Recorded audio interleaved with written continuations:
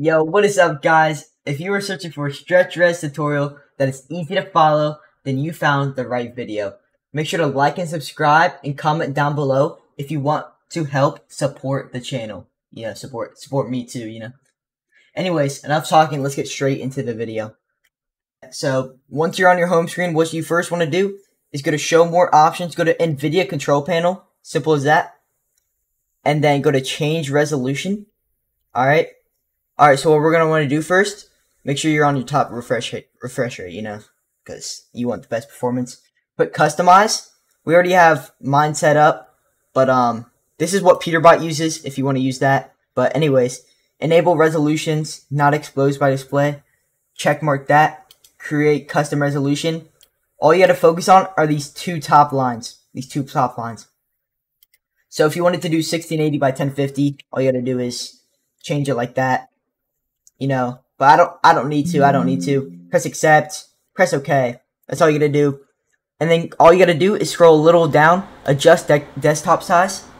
Make sure it's on full screen, okay? Make sure it's on full screen. That's very important. Full screen.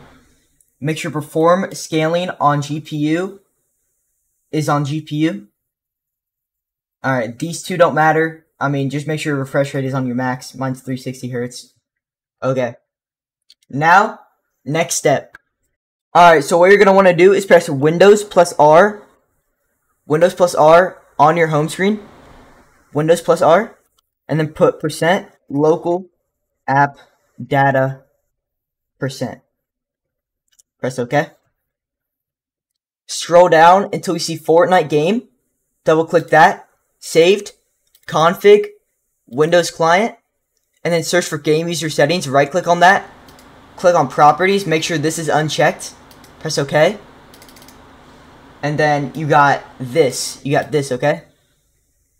And then another way it might be easier if it's if you're originally on 1920, all you gotta do is press edit, and then all you gotta do is uh, replace. Make sure everything switched from 1920 is switched to 1720. 1920 to 1720, and it will switch everything that's switched from 1920 to 1720. It's that simple. And you press replace all, and then that's all you gotta do, chat. That's all you gotta do. Alright, now going into Fortnite. Now you gotta go into Fortnite.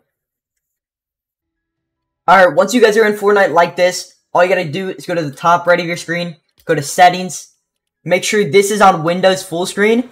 Make sure this is on Windows full screen so Fortnite always captures. It's easier, uh, it's just easier and everything. Make sure that's on Windows full screen, 1720.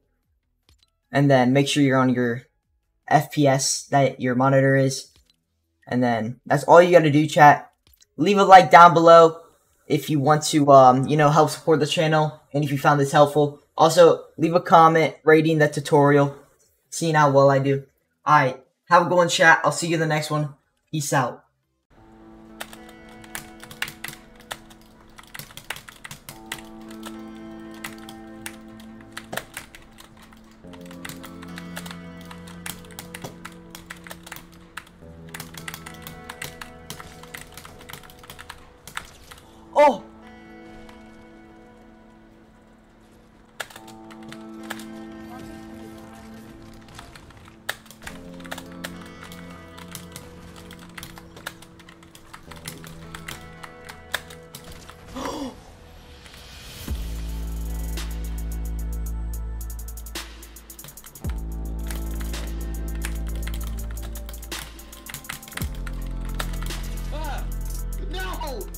Wait. Alt Z, instant replay.